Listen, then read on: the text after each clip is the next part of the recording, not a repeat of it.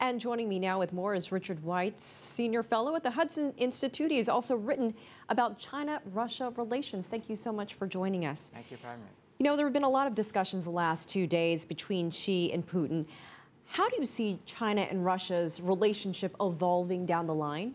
For the past 20 years, it's been fairly constant. You've seen um, generally good relations, no major disputes, uh, no territorial claims. Uh, you've seen a lot of parallel policies. They tend to pursue similar policies towards North Korea, towards the Middle East, towards the United States and Europe. Uh, their economic relationship has lagged, but that's starting to pick up now that the energy sales are occurring. And there's also uh, strategic cooperation. They have these annual summits. It seems to be a, a fairly good uh, relationship, if not especially close. What do you make of the fact that Russia was the very first trip abroad for Xi since taking office. What does that say? Right. This is a, a, a has happened before. Putin made China the first place he went after uh, returning to the presidency. Uh, President Hu went to Russia as his first foreign visit. It's uh, a sign that uh, that the relationship's close. They want to keep it that way.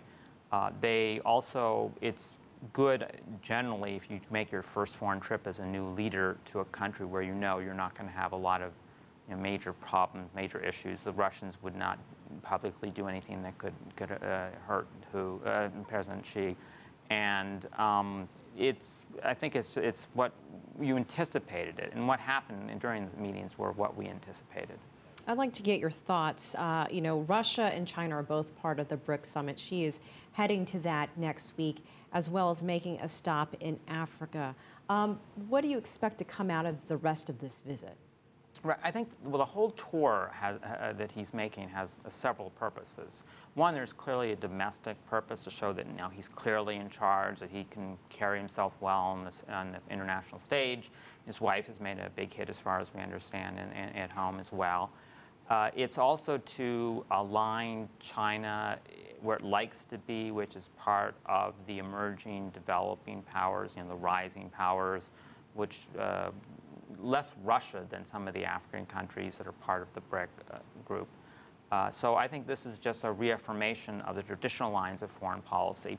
But I do have to say, his speech surprised me. He, as which, as was cited, it was more, it was a more closely statement of values with Russia and what could be interpreted as against uh, Western, particularly the United States.